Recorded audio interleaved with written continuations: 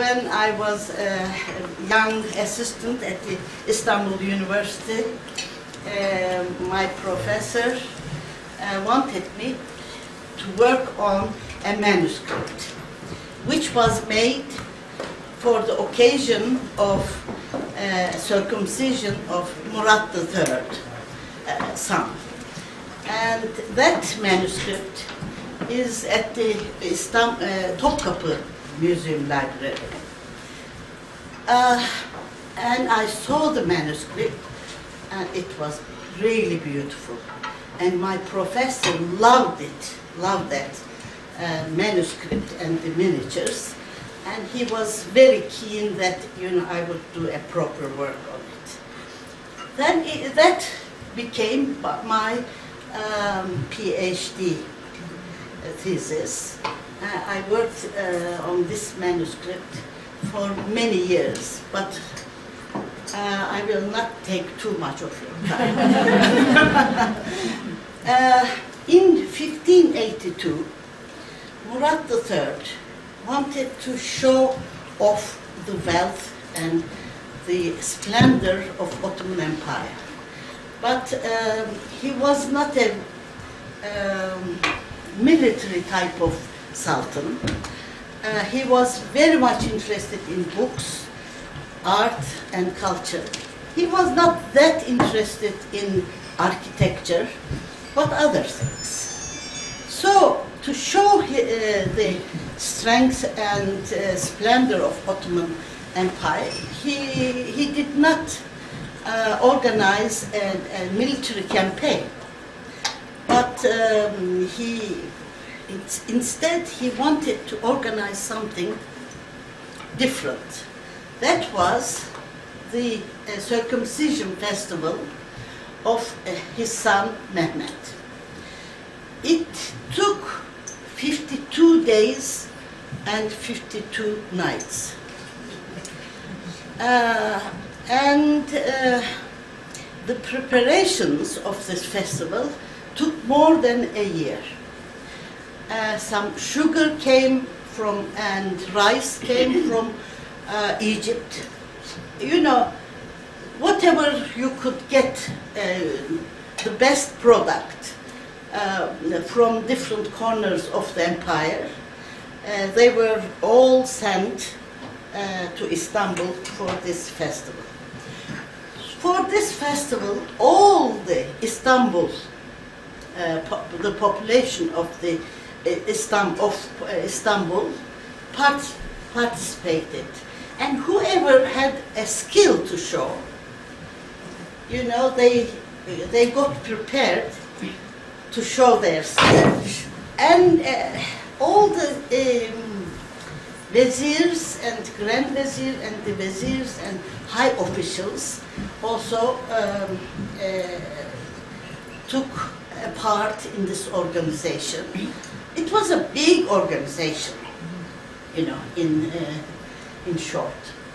So, uh, for this occasion, um, many, uh, many people, foreign and native uh, writers, wrote, uh, described uh, this event. and when you put them all together, you really learn about this event properly. Uh, but there is only one manuscript, in fact more than one, but one manuscript particularly made uh, to show this event from uh, day one till the, uh, till the end of this uh, event. That is it doesn't have a title in the book because, but uh, in general it is called Surname Humayun. Surname means uh, festival, and or uh, book of book of festival. Uh, Humayun is imperial, imperial festival. So uh, it was prepared so that two pages of text told the story in written, and the next two pages uh, at the double page showed the event, one event. Um, and uh, it was planned to have 250 uh, double page miniatures. Unfortunately, uh, some 70 more pages are missing. Uh, we know why, because that book was so popular uh, that, uh, you know, um, it was a, a little bit destroyed. And also, from some, uh, some drawings on the miniatures, we understand that, uh, you know, some children also looked at, looked and played. but that is sweet. I mean, they, uh, they made some harm on the manuscript. But it is nice that you feel that it was really uh, uh, appreciated and looked and used. So let us start looking at these miniatures by showing all these miniatures to you, not all. Some 250 miniatures you are not going to see, but some uh, details uh, of this. It, it shows the life in Istanbul in 1540, uh, 1852.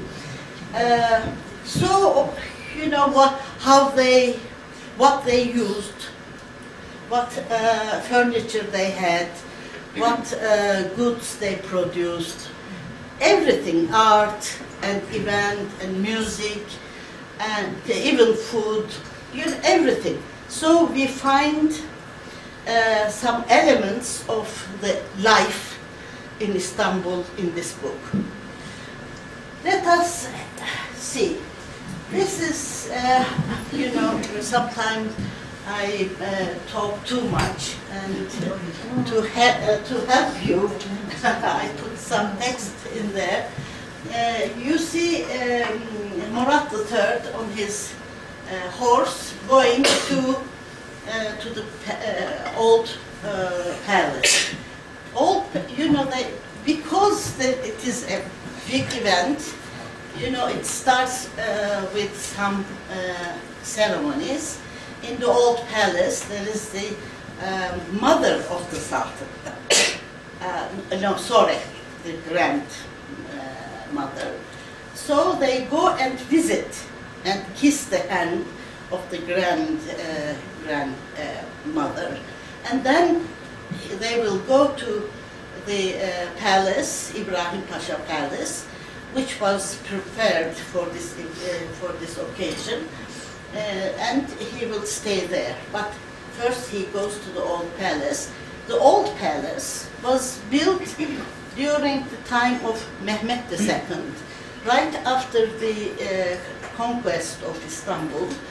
And uh, it was situated at the, on the site of Istanbul University of today. Okay. Now you see the grand uh, no, uh, crown prince Mehmet, who is um, on horse going into uh, the Ibrahim Pasha Palace, and as you see, some beautiful um, not carpets. These are um, beautiful fabrics gold and silver fabrics. Uh, this, this was a habit. Uh, when a sultan or uh, the crown prince or uh, the mother of the sultan uh, went to a place, they used to keep beautiful fabrics to, uh, to put them on the floor and, you know, they the shoes of the horse would make some stamps on, them. And it was divided into pieces and given to the uh, people who are serving. So that was an old tradition that we see in here as well. Uh, this entrance is, it, it exists today, but when you go to Hippodrome, uh, to Ibrahim Pasha Palace, you cannot really see. But when you go, please stand uh, face to the Ibrahim Pasha Palace. Okay? You will see also the Tapu Dairesi, how we say it? Yes, Register of Deeds. uh, yeah, okay, that building. And on your right, you know, uh, at the rear, there is a little dome uh, and uh, supported by some columns. It was the original entrance of the Ibrahim Pasha Palace. It is still there, but you know, it is in the corner and they fill uh, with Coca-Cola uh, bottles and they store them there. You can hardly see. Okay, let's go. So for this uh, occasion, uh, a lot of uh, uh, artificial trees, which were called nahl, uh, was prepared. Some of them were so big that when carrying them all um, through the streets of Istanbul, because they were carried through the streets of Istanbul, so that people also would feel the festival uh, atmosphere. Um, the, the houses were some in some places were so close to each other uh, with their balcony and uh, or not balcony, uh, but um, so that they were cut partly uh, because the owners of the houses would be very sorry about it, the, uh, the Sultan would pay, uh, would pay the owner uh, to have it uh, redone. So you see, they, they were all these, whatever you see here, all uh, the flowers and everything, are made of uh, colored wax and also uh, colored paper. Uh, so you see the knuckles in here, and uh, they also prepare some figures made of candy, made of sugar. You know, you all know that in Islam we don't have uh, a sculpture, but these are small sculptures how people did not, I mean, uh, how uh, th- these sculptures were accepted. It is, it's really interesting. But if I tell you that, you know, after uh, they are shown, they would be distributed to the, uh, to the guests and they would be eaten up so they are destroyed in the end. That's why you know, the artist could dare to create them. Okay, let's go. Now I'm showing you the Ibrahim Pasha Palace, uh, which is uh, now today serves as Turkish and Islamic Museum. And uh, this is the balcony you see from the uh, hippodrome. Uh, let, let us start with the hippodrome first. This is the obelisk. This is the uh, serpentine column. And this is another uh, column in here. Uh, this is the Ibrahim Pasha Palace. Okay. And Mehterhane. In here, this is the reception room behind this facade. And today we have big, big carpets are displayed. And in here, you know, you see the windows are all red uh, painted. Uh, and if you look at the miniature closely, you see that, you know, um, it shows uh, that they were lattice windows. So 40 uh, carriages uh, brought uh, harem women uh, to this uh, to this palace, and they stayed all the, uh, you know during the time of the festival, and they could sit here and uh, saw uh, watch the events, uh, what's going on uh, in, this area.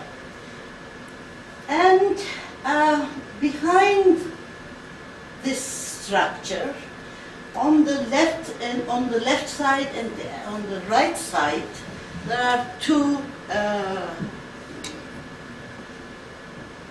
two uh, entrances uh, of the uh, palace, uh, which were made uh, before uh, before this event, before uh, 1582. And for this uh, occasion, when they prepared the, uh, the arena for, uh, for the festival, uh, the uh, admiral, admiral uh, had this structure uh, made, a wooden structure made for this event. Uh, these lodges uh, were for the dignitaries, and if you look at here, you see different uh, figures with different heads. And here you have a detail. These are Christian uh, ambassadors. Um, so here we have uh, the Sultan and his son and his uh, attendants, uh, courtiers, as you can see in this uh, detail.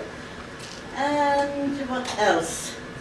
On, on this side, these two pages, this, um, uh, this setting is seen almost in every miniature painting in this manuscript.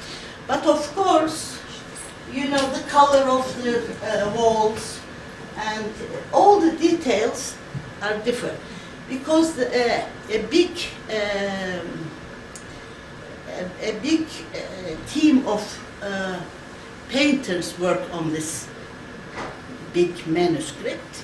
So, you know, some 20 were given to one person, the other to 20 to another person, and they decorated, they, they did all these decorations according to their taste and uh, their style. Uh, so that's why you know we have all these. This setting was decided uh, to be like this by the Nakkash, by the head uh, painter Nakkash Osman. So he uh, he decided that the um, people of Istanbul should be represented in this corner, and uh, people uh, who would attend the uh, festival would come from here, walk uh, in this direction, go in this direction, and under the balcony of the Sultan, they would pray to God for the health of the Sultan, and they would also present their gifts. And in return, they would also uh, receive some money. And they would turn like this and, you know, leave the arena. Uh, so, before I forget, sometimes I forget the, the, the details. As you see, I, I, I've shown, I'm showing you another detail of this uh, people of Istanbul in here, and you see some veiled woman. Uh, I almost studied all the, mm, the Turkish miniatures, not only in the uh, Topkapı Museum Library or Istanbul University Library, but in other um, libraries in the world too. And I never came across. Maybe I missed, but I, I don't remember seeing any uh, veiled woman before this uh, before this time, 1582. Uh, I assume that uh, this uh, fashion uh, came after the conquest of, of uh, Egypt in 1517. Because in earlier times, you know, if we had time, I would talk about Turkish women in miniatures one day. um, you know, we, we don't see any veiled woman. Uh, there are covered uh, women, but uh, they are old women. Old women uh, are covered, but the others were, are, were not. So, this another talk. If you want, if you insist. One day. okay, let's go. So, you know, from time to time, uh, we have dancers and music, and whoever works on any anything, you know, should consult this manuscript. If you work on musical instruments, you can find the images, you know, of uh, of all the different kinds of uh, musical instruments in this manuscript. This is a great source for uh, Ottoman culture, visual source. And dancers and um, um, musicians come here from time to time. They come and, you know, uh, they, uh, they perform. Yes. And from time to time we have Karagöz, shadow uh, uh, puppet theater people, as you can see in this. What also they, uh, the people did is uh, if, uh, if somebody had slipper makers, for instance, they would take their uh, they, they would make a model of their shop or atelier and they would maybe carry or they, uh, on wheels they would push to the uh, festival uh, uh, arena and show their goods. So in here we also have two tents and as you see all these people entertaining uh, the guests. Okay, let's go. Here we have uh, religious people. They are all in different uh, parts of the uh, manuscript, but in here I put them all together uh, to show them all to you. And here, uh, here Sayyids, descendants of uh, Prophet. Mm, my grand grandfather was one of the uh, Grand Viziers, Sadrazam Hasan Pasha, and he is called Sayyid. So that means descendant of the Prophet. But I think they bought this title. you know, there are some cases you have to be careful. so, you know, when I realized one day a very religious, one of the religious uh, person at the university said, oh, Nurhan is a Sayyid. I, I don't feel Sayyid at all. Sayyide. and, uh, but I think I, I did not study it really carefully, but uh, uh, I learned that some, some, in most of the cases, these titles were bought. anyway, so here we have muezzins and imams and uh, different uh, religious uh, groups, representatives of uh, religious groups. Okay, let's go. And here you have, ah, uh, in the 16th century, during the time of uh, Süleyman, the magnificent, there were so many florists in Istanbul. And so many that they wanted to keep the number limited. There were more than 100. Uh, can you imagine? You know, when uh, before I uh, started working on flowers and gardens, I always thought that cut flower bouquet, you know, to give somebody uh, was a, a European tradition which we took. No. And uh, to put some uh, fresh flowers, cut uh, flowers, on the graves, that was also an old Turkish tradition. So after working on this, I published a lot.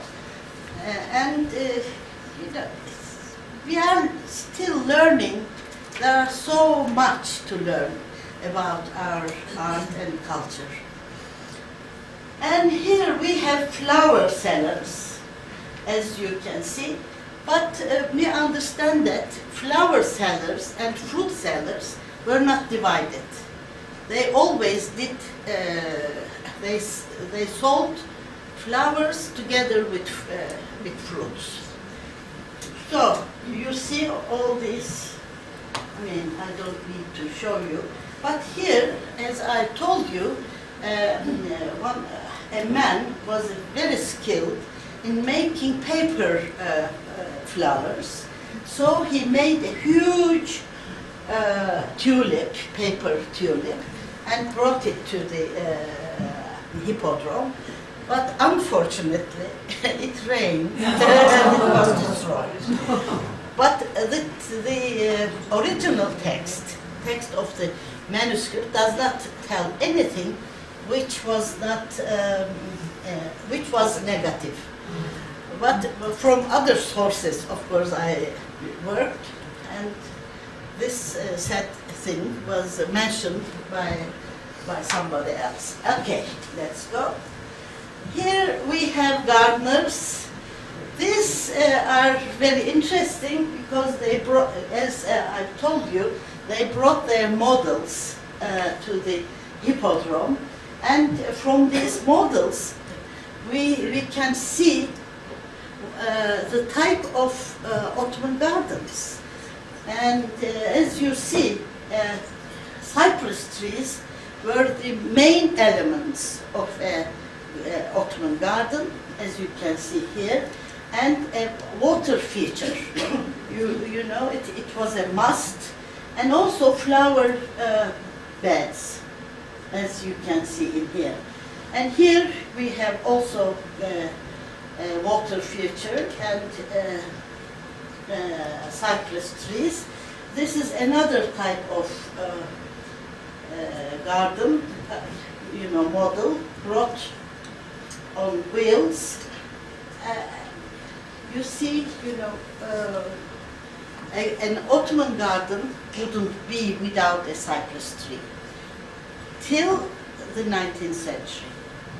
In the 19th century, the uh, uh, European gar uh, gardeners were invited, and the uh, the taste of uh, the garden gardening changed, and they never uh, planted cypress trees. But if they, if there were some existed, they did not cut, cut off, but uh, never uh, planted. And by the time, only cypress trees uh, could be found in the cemeteries. So in the modern times, uh, you know, uh, cypress trees are considered considered as uh, graveyard trees, but they were not. Okay, let's go. So, you know, he was, this man was very skilled dancing with his uh, donkey. So it was his skill, and he, he showed his skill. And this man, uh, saddling his horse without using his hands, he, he, he tied his hands at his back and, you know. And here, that, that was a trick. You can see these were Christian uh, people and prepared a trick. And, uh, you know, they brought this um, box or whatever, uh, certainly bigger than a box chest. And uh, it was filled with straw. And there were pieces of bodies. And people were disgusted and afraid. And suddenly, four men jumped out. they, they hid their bodies and uh, showed only one part of their bodies. And uh, one could, uh, one would think that, you know, uh, some, yeah, some bodies cut uh, were in there. So it was a trick. Okay, let's go. Ah, Sibor, we have forgot. This, this, this is a simurg. It is a uh, uh, imaginary uh, bird uh, made of paper. I mean, today we are not very much impressed because we see so many kites uh, in different shapes. But uh, can you imagine in those days how uh, how admired this paper uh, kite? Okay, let's go. And war games from time to time. Uh, uh, they made for war games, and uh, maybe some of you know about uh, the name Matrakçı Nasuh, uh, who who made the uh, Istanbul depiction, representation of Istanbul, the oldest what we have, uh, 14, 3, uh, 30, 34, I think I need the water. Uh, he was very skilled in making um, paper castles. He was skilled in many things. So it was a, an old tradition uh, to make uh, these castles made, made of uh, cardboard. And of course, the wars were between uh, Turk Ottomans and uh, Frank, the Christians. And of course, always uh, Ottomans. Let's, let's go. Uh, archery was a very popular uh, sport uh, among the Ottomans. And there were some uh, exercise uh, how places where people could go and uh, practice archery in many places and there is also uh, they were called ta- talimhane and there is also a, a still today this district called Talimhane. Um, and this game, we don't know, uh, uh, it doesn't exist anymore. And we don't know much about how it was played. And this is Matrak oyunu, we know about it. And that Matrakçı Nasuh, the painter, also is the inventor of this game. May I say something? Yes, I. I, I recognize that from, from medieval pictures in Europe because I think you should aim with uh, a spear on the shield and then uh, you should take care because the puppet revolves and you Uh, get you kicked in the head. yes. Yeah. Yes, and there are also some other aspects that uh, I believe um came from Europe uh, because of war prisoners. I mean, I will. You are very right. Thank you. And let's go. These Christians of uh, Galata uh, prepared this mountain um, as you see many, with many uh, animals and so on. Um, but it was filled with uh, gunpowder. Uh, people were admiring it and beautiful, and they were admiring the beauty of this mountain, but suddenly they blow up. and uh, uh, line uh, trainers also uh, uh, had many uh, performances, and they would make the line fight with war. And of course, this was Ottoman Empire, uh, uh, represented Ottoman Empire, and this is the Christian. And, and if, if this, uh, this fight uh, was won by war, that uh, was a very bad sign. That, you know, they would lose a war against Christians. okay, let's go.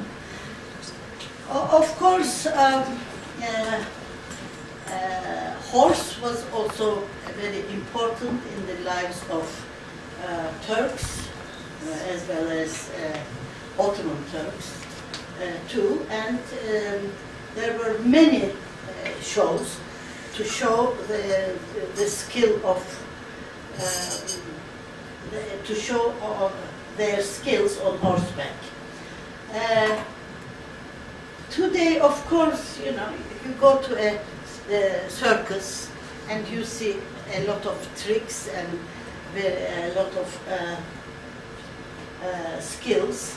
So it's not very impressive, but in, in 1582, uh, I'm sure it, uh, they were very impressive. Okay, let's go. Ah, now we have here we have cooks. It was, uh, you know, a very modest uh, restaurant, uh, and also kebab. You see, shish kebab seller. If anybody says that, you know, shish kebab is not Ottoman, I just would show this butcher. And here we have a coffee house. We also have another coffee house miniature uh, in a manuscript, in a Turkish manuscript, in uh, Dublin, Chester Beatty Library. But this is also very nice. And here, you know, they are playing a game. Uh, I was given a gift, a box, mandala. Mandala? Mandala. And uh, the gentleman who gave it to me said, uh, we saw, this is mandala. Uh, he took uh, this um, figures and used on the box. And uh, the reason uh, that he brought that box to me as a gift, because he took the figures from my book. and that was really very sweet. But I did not know about this game. And uh, then I opened up and I learned something. I'm very happy about it. Okay, let's go. And sherbet makers. These are all silver. And here we have a sugar dealer. And these conical uh, sugar uh, pieces were um, alive even uh, till my childhood in Erzurum and so on. Uh, they had little hammers to break them, and uh, they would take a little piece of sugar, put down into the between uh, their cheek and uh, uh, teeth, and drink drink tea or coffee. So it is uh, here we have we have mem- these are all studied by Mary Mary Ushen in a wonderful book he published, she published. And uh, here we have halwa and uh, fruit jelly makers and poultry sellers. Uh, you know, as I've told you, they brought their uh, ateliers or shops or whatever uh, they had uh, to the to the uh, festival area. So they they brought all Istanbul life in this festival. Let's go. Fruit salad, and we have all the dirhams, the way and the uh, scale and so on, and how how they organized, how they arranged their uh, uh, shops. Here we have greengrocer, and as you can see, they have uh, uh, happy. Yes, like today. Yes, let's go. Uh, so a lot of uh, entertainment also uh, goes on, as you can see uh, in here. And I shouldn't go into detail. We have many more. But you know, when you look at the details, you enjoy more. Okay, let's go. So, snake, uh, snake charmers. There is a man in this barrel uh, with lots of uh, snakes. They roll the uh, barrel, and uh, the man uh, comes up uh, without being bitten by any snake. And you know, a lot of shows. You see his, his upper part of his body is bare, and he put his uh, clothing in here, and uh, he has he, he carries a lot of snakes. So the dog, uh, some show with the dog, and the birds. They have you, you see they have they are doing this. They have whistles. They whistle and they encourage the uh, birds to sing. Okay, let's go.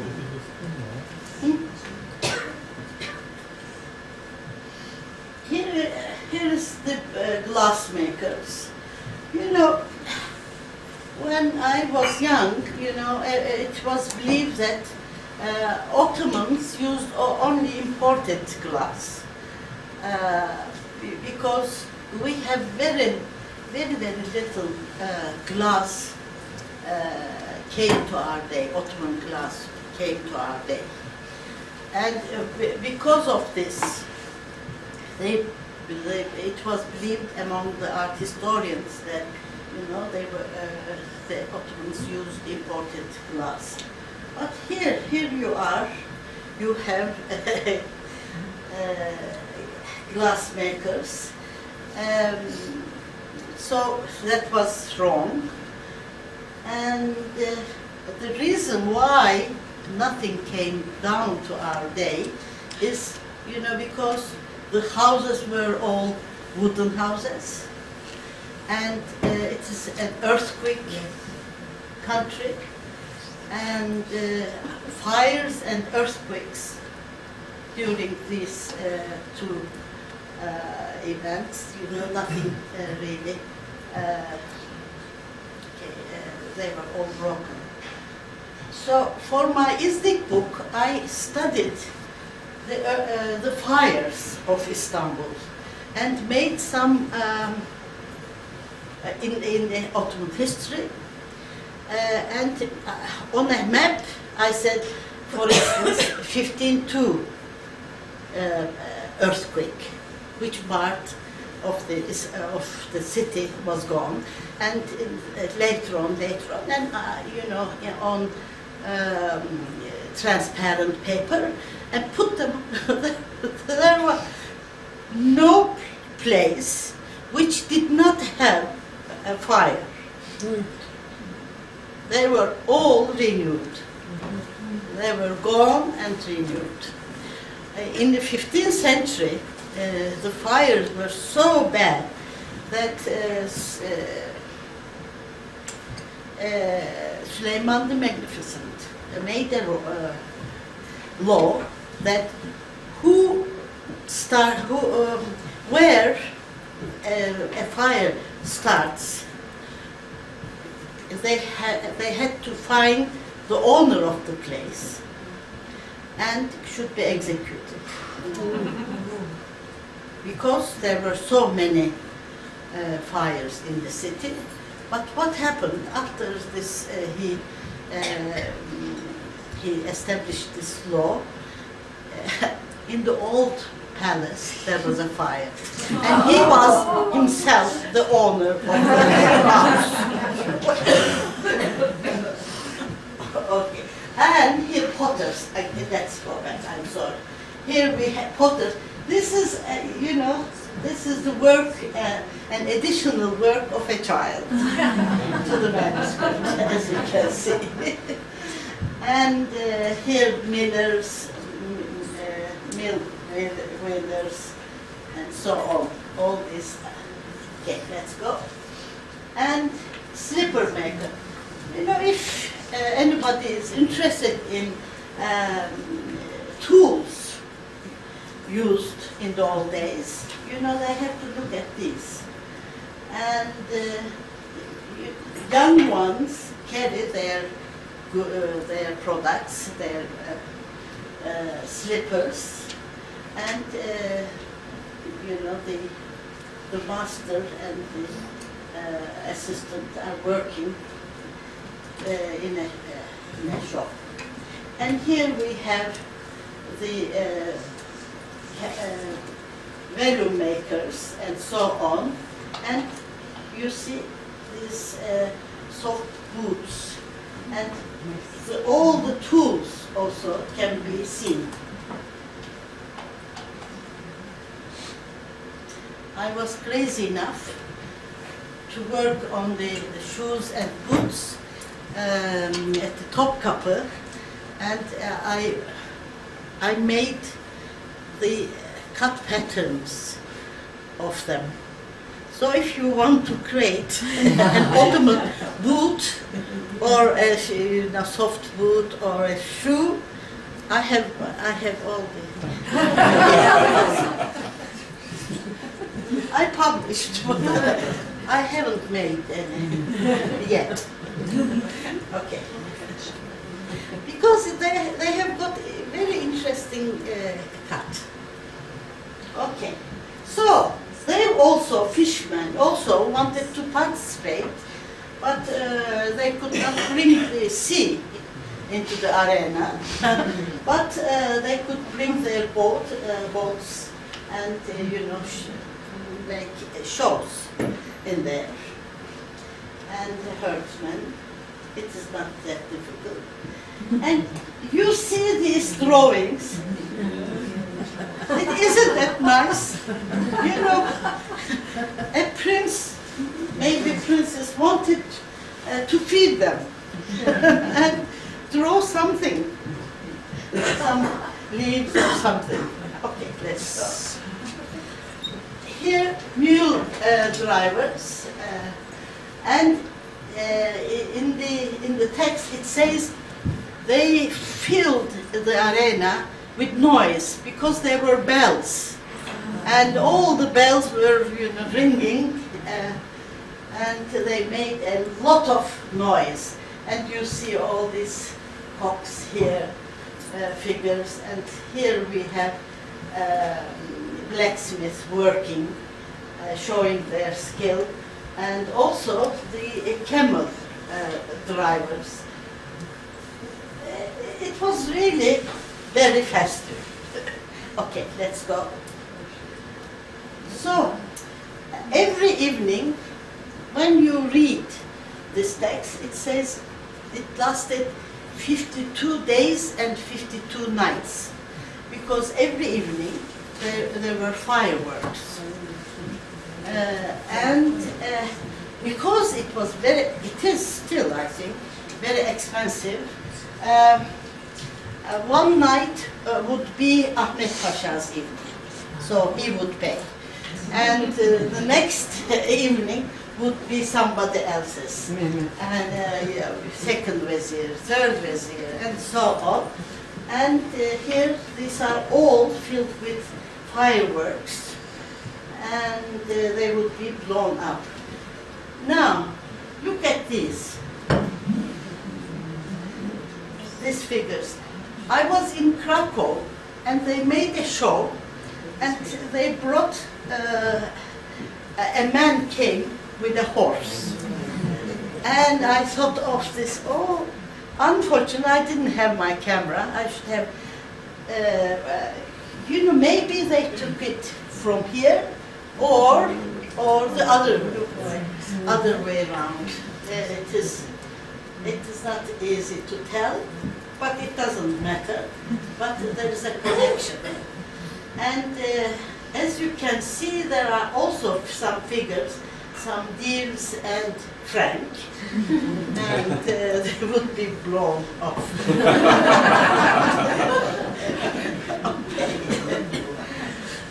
and some other, uh, this uh, fan, uh, and this is mirror makers. You know, it, they wouldn't bring the mirrors like this. It would be very dull. So they created uh, beautiful uh, stars. Okay, let's go. As I've told you, you can find anything in this manuscript.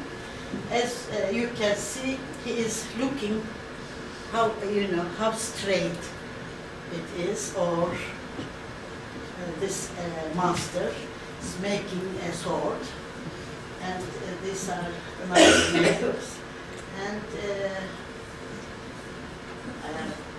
bow, bows, not bows, arrows, and rifle makers. Rifle came in into Ottoman uh, life uh, during the time of Suleiman the Magnificent, but uh, Janissaries hated the guns, and uh, you know first they broke them. Later they got used to. Yeah, okay, let's go. They preferred uh, arrow and uh, uh, arrow uh, instead of uh, guns. These are kemha makers, so they made, they exhibited their kemhas like this. And here is kaftan maker. He displays his kaftans like this. And uh, he is a beggar trouser maker. It says, you know, that they, uh, he started making one um, um, when entering the uh, hippodrome and uh, during this at the end of his tour he he made it he finished it in a very perfect way he was so skilled okay let's go ah these birds are um, are made uh, folded uh, or, uh, folded uh, bath wrappers. And they were made in, in, in such a way that, you know, by a rope they would pull and the wings would move or hands. Uh, so here uh, is a barber. And so let's go. And here felt makers. I have a friend uh, in New York who works on felt and I've given, uh, given her these images um, for her research. And I, I never heard that a cat would be taught a, a, a skill. Uh, here you have two cats, and they were uh, uh, they were trained to walk on the uh, on the rope. They maybe they can walk, but uh, for a show, how they would be trained, I cannot tell. And here-. Different way of catwalk. catwalk. okay. And here you have a man here, and uh, there is a, a big block on his uh, tummy, and uh, they are uh, these men are making uh, hammering. Uh, was it was it cauldron, they are making cauldron, uh, copper cauldron or something, but uh, on his tummy. So strong muscles. Okay, let's go. And here, ah, these are sakas, watermen. They, they had a, a lot of uh, work to do. Um, they, they would carry some uh, uh, bags full of water or oil. Um, they were responsible to clean the floor of the hippodrome every day. And uh, because it was uh, soiled, uh, they had to water the, uh, uh, the ground and then sweep. And also, you know, they, they had funny hats, funny hats and so on. They were responsible uh, to keep the order of the uh, uh, festival arena, arena. If anybody did not behave well, you know, with their own, they were like uh,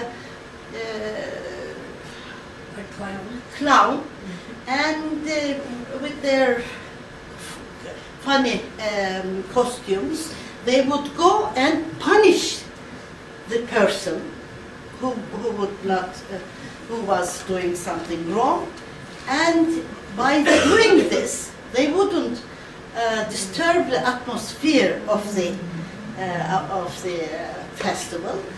Uh, sometimes they would pour some oil or some, sometimes water and so on. They were very important uh, and you see different types. Sometimes, you know, they would um, uh, tease uh, the people and so on. Uh, very funny, funny but very functional group of people. So, this is a, a banquet given to the high officials, as you see in here. But every day, the, the Sultan gave food to the, uh, to the uh, public. And uh, the, uh, the ground would be uh, cleaned and all this food would be prepared. Then they would say, come, and hurrah, the people would go and uh, have their food. So, okay, let's go. And there was another, which I don't like this, this page, because they brought two, maybe more, I can't remember, uh, roasted oxen. And it for the public. And they would eat meat. And they hurried. And when they started uh, taking pieces, suddenly from the inside of these uh, animals, live animals came out. Uh, foxes, dogs, uh, birds, and so on. And poor people, you see uh, with a piece of meat, and it, they, they were so much afraid of having all these live animals. But poor people, you know, it is a little bit not fair. That's why I don't like I don't like it. You see a detail in here. Okay, let's go.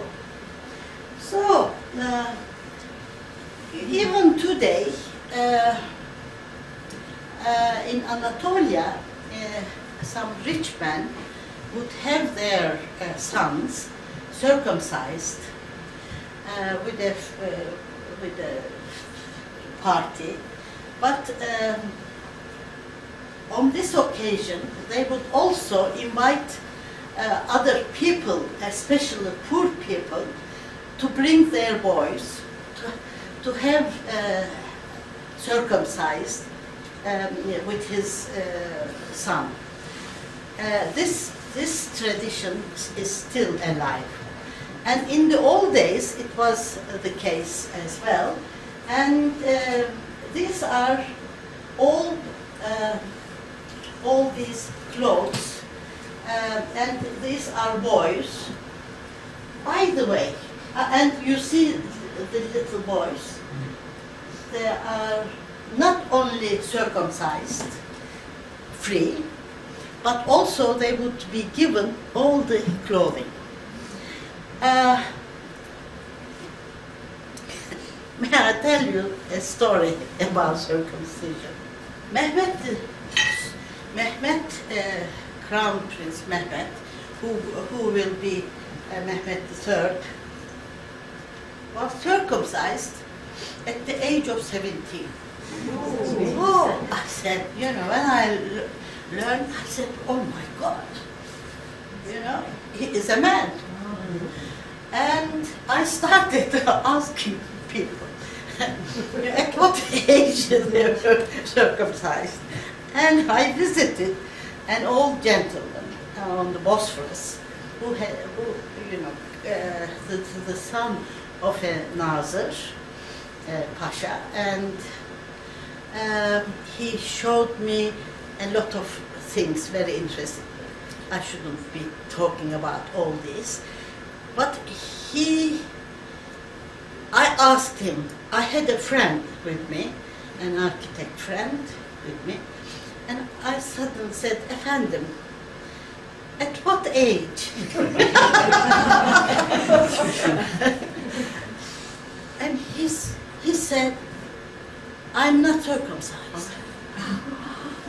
I mean, he was a pious man because I asked him uh, if he remembered uh, the death of uh, her mother, if they put a piece of with inscriptions on the coffin or you know I was asking about this and he said one minute and he uh, disappeared and came back uh, the, uh, with a piece of uh, fabric uh, which came from Kaaba mm, cover. But the, it was wrapped um, in seven layers of bundle okay. And he brought it like this with, with such a respect that you, you understand that you know he is a respectful man but not circumcised. I couldn't understand. Um, he said my father was a very modern minded man and uh, he said this is a very barbarous thing to do and I'm not going to have my son circumcised. So, you know, very interesting. I find it very interesting. I think Murat III wanted to create a big event, use this circumcision, and wanted to find the right time.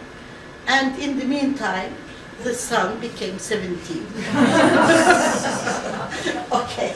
Ah, here you, see this is, uh, uh, there is another manuscript at Istanbul uh, University Library, which tells a part, tells about the events uh, during the time of Murat III. And there are some miniatures devoted to this uh, festival.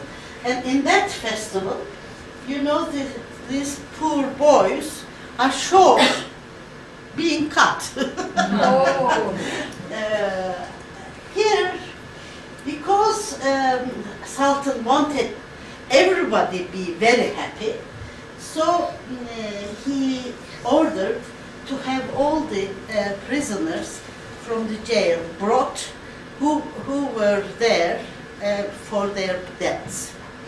And uh, they are brought in here, and all their debts are paid by the Sultan, and they were so that they could be free. Is there also a woman over there? Yes, there is one. Yes, Interesting. you know, we also get some debts. uh, and in here we have all the uh, beggars.